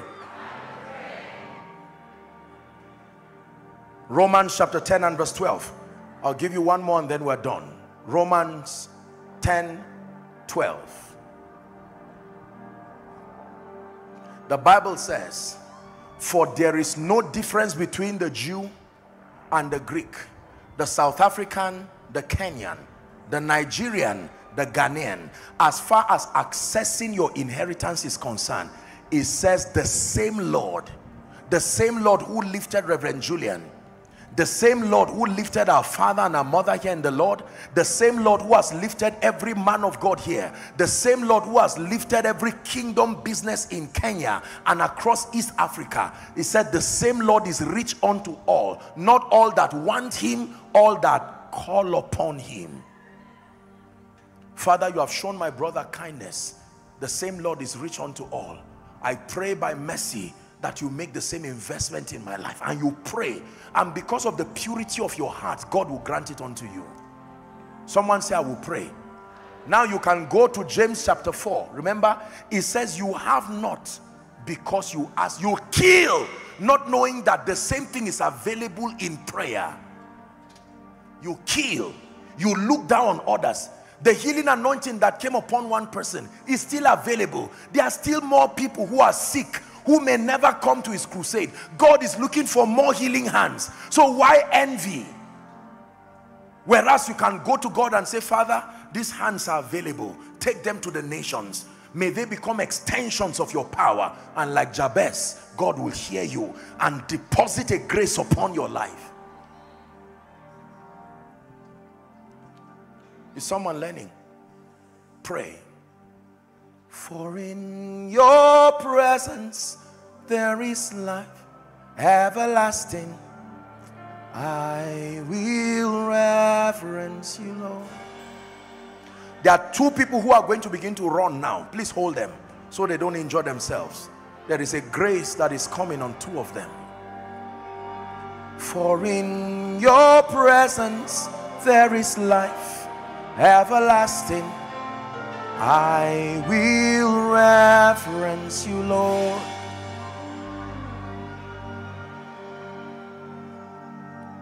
We'll have the time for impartation later on, but Reverend Julian, I sense with all my heart that something God has placed upon your life.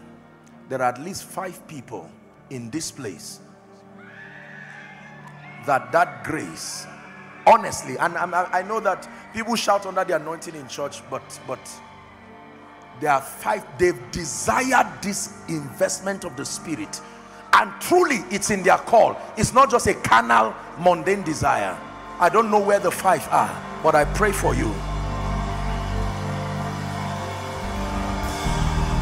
Apostolic exploits in the marketplace.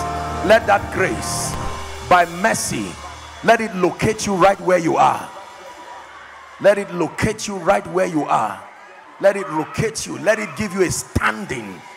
Male and female doesn't matter. The same lord who called on his manservant and placed oil upon his life. According to psalms 89 20 and 21 i have found david my servant and he says with my holy oil i have anointed him I'm praying for you in the name of Jesus that the grace that God has placed upon his servant, may that grace rest upon you in the name of Jesus. Please sit down. Let me give you the last key. The last key that fights envy, the final nail that buries envy in the life of anyone is to walk in love. Walk in love. Colossians chapter 3.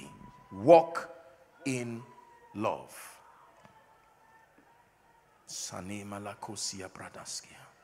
Colossians 3 14 and 15. This will be our final scripture in dealing with the spirit of envy. Above all these, read the first four words, please. One, two, go. One more time. And above your praying, above your fasting, above your contending for growth, above all this, it says, put on love. KJV says charity. But the word there is love. And the Bible calls it the bond of perfection. It brings perfection to everything you have. Put on love. Put on love. Put on love. When it has to do with love, the only way you get it is by asking the Holy Spirit to pour it in you. The love of God was shared abroad in our hearts by the Holy Spirit. So when you find yourself walking in hate, bitterness, envy. You go to God in the place of prayer. Father, your love is not richly established in my life. Take away this spirit of hate. Let me be able to celebrate the victory. Let me celebrate your hand upon others and be comfortable with it. You see, love. Did you know that's the meaning of my name? What a good name. Selman means the way to love. Way to love. You never see me fight anybody's ministry, fight anybody's. If I have a problem with you, I pray for you from a distance and wish you well. You see that? Never get yourself in a position where you become the reason for the pain of others. It is not noble. It is not noble. That a preacher is crying, courtesy you, and you sleep sound and wake up. That an individual is going down, you close the business door because of mismanagement of this spirit, this cancer. And it is amazing how many people will go behind and stab you, then call other people and say you are bleeding. Say, this man is bleeding. I mean, who would be so wicked to cause this man to bleed? And then they see the evidence of the blood on your own hands. Walking in love. I've seen God do more in my life because of love than because of prayer. I know you will not believe this. I'm a man of prayer by the grace of God. I'm a man of the word by the grace of God. But there are realms that even prayer warriors cannot get there. The Bible says, no eye has seen, no ear has heard, neither has it entered into the heart of man the things that God has in store for lovers. This one is a realm of love. You can pray from a corrupt heart. You can fast from a corrupt heart. Envy can be the sponsor of your fasting because you want it too so that nobody disrespects you. Unfortunately, God vets the heart of men before he extends his hands to them. But when you have love, that you wish everyone well, when you hear that this person's company has a problem, you wish them well. Even if they hate you, you wish them well and leave them in peace. You see, you have secured yourself. Most people become vulnerable to demonic attacks because they do not know the power of walking in love. I learned early that love never fails. Love never fails. Now, you will look like a fool while you are practicing love. Many people will take you for granted, like they've taken many of you for granted. But can I tell you, at the end, love always wins. You know what killed death, defeated sin? It was not power, it was love. Even what power could not do, love did. There remained these three. Faith that moves mountains. Hope that maketh not ashamed. And love. The Bible says the greatest is love. When he was done talking about the gifts of the Spirit, Reverend Julian, he mentioned all the gifts of the Spirit in First Corinthians chapter 12. He said, even with this, let me show you a more excellent way. Then he goes to chapter 13. A more excellent way of preaching is to preach in love. A more excellent way of doing business is to do business in love. A more excellent way of counseling is to counsel in love. A more excellent way of rebuking is to rebuke in love. Once you take away the love factor, even if what you are doing is right, it becomes destroyed.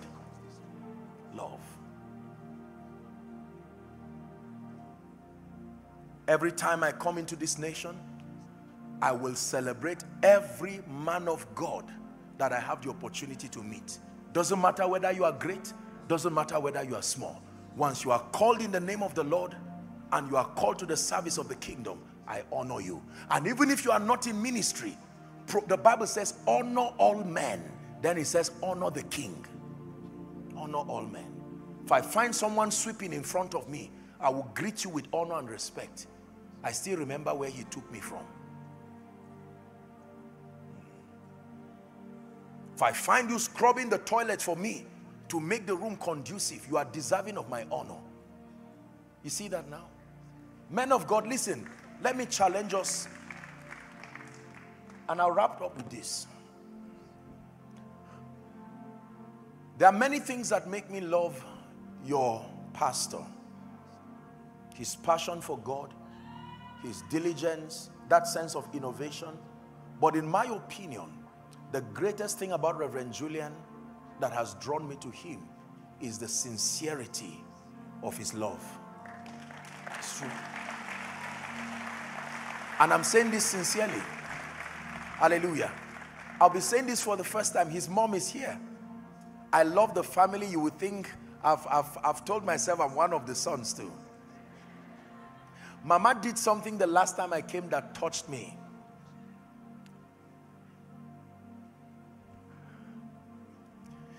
Mama brought a pen last year.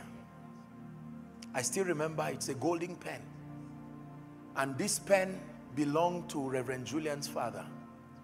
And after Mama hugged me and gave me a big kiss, she brought that pen as a gift and gave it to me. Thank you. Love. I will honor her in life and even the day she sees his face, she still deserves my honor.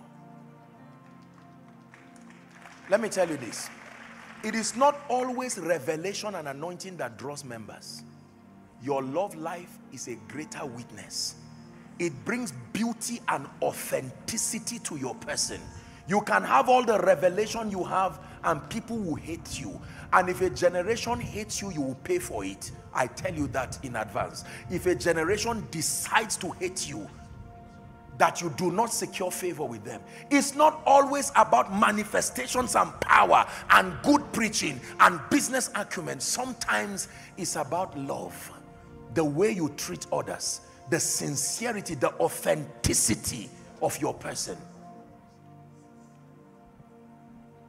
I spotted her while I was here.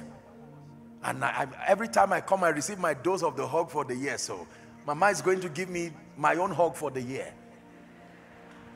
Now I'm a man of God. When I'm done, I receive the hug of a son. Hallelujah. And in that hug, you see, are many things. Virtue pouring from our heart. A mother who can raise a son like this should hug you.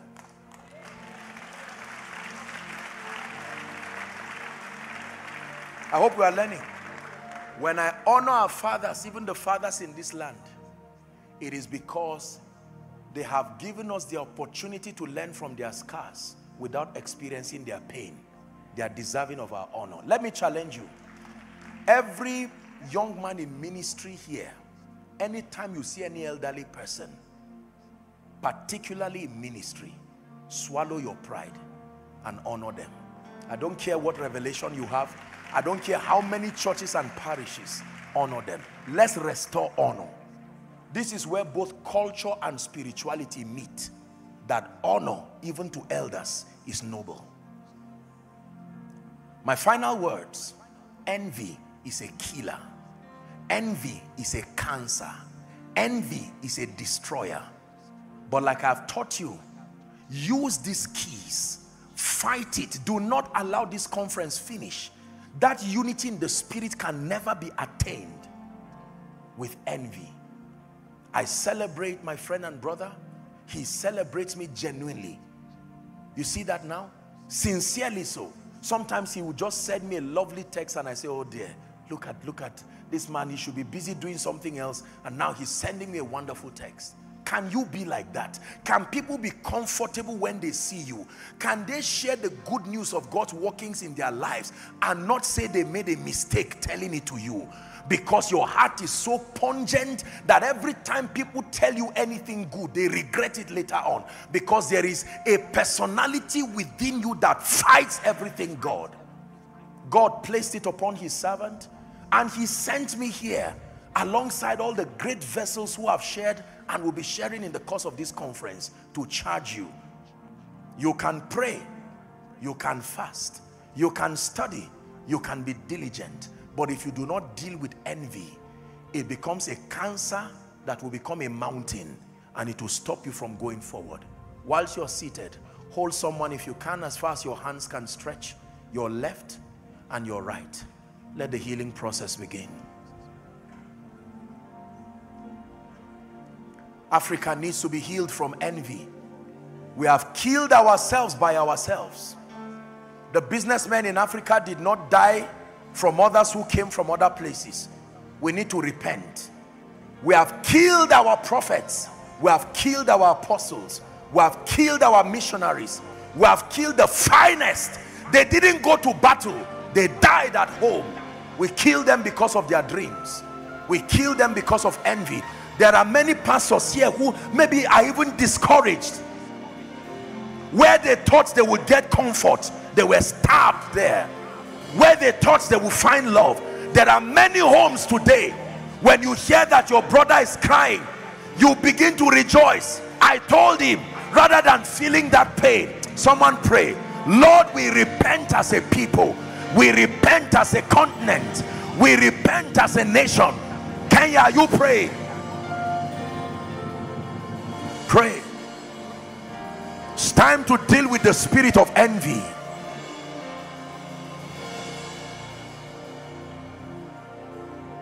Please pray. You are speaking to yourself.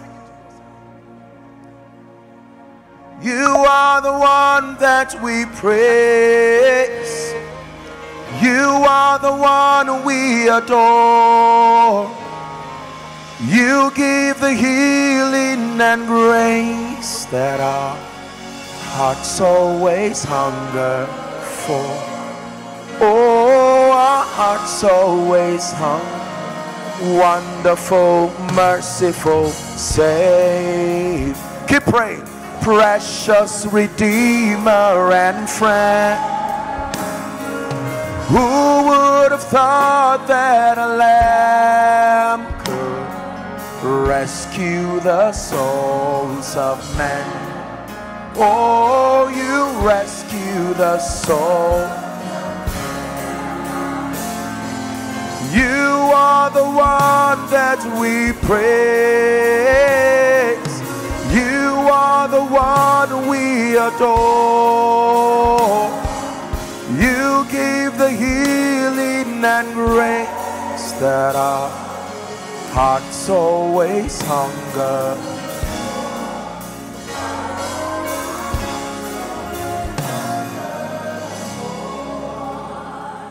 Father, I receive the grace to love, to love my brother, to love my sister, to love my fellow man of God. We may not agree in everything doctrinally, but I still love. Our approach to ministry may be different, but I still love. There may be other character issues to correct in their lives, but I still love. I still love. I still love. You never win when you hate. You never win when you envy. You never win when you resent. Even if you are right, you will not win.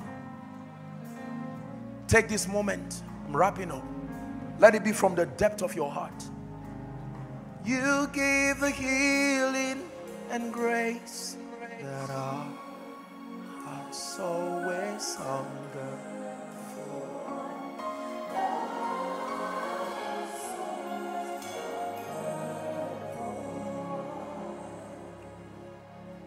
Let me encourage everybody under the sound of my voice. I want you to invite everybody you can find in Kenya. Everybody. There are people, whilst listening to me now, you know they should hear this sermon please be sure that they do not miss the other sessions. I know some of you are not going anywhere. You are here securing your seat. But call someone, some preacher, some business person.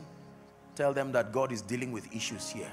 Please be on your way and let the refiner's fire do the purging, do the inner working because it's time for greater glory.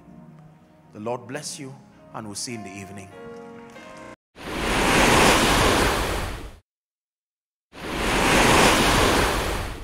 Thanks for watching Revival Time Hub. But be ye doers of the word, and not hearers only, deceiving your own selves. For if any be a hearer of the word, and not a doer, he is like unto a man beholding his natural face in a glass, for he beholdeth himself, and goeth his way, and straightway forgetteth what manner of man he was.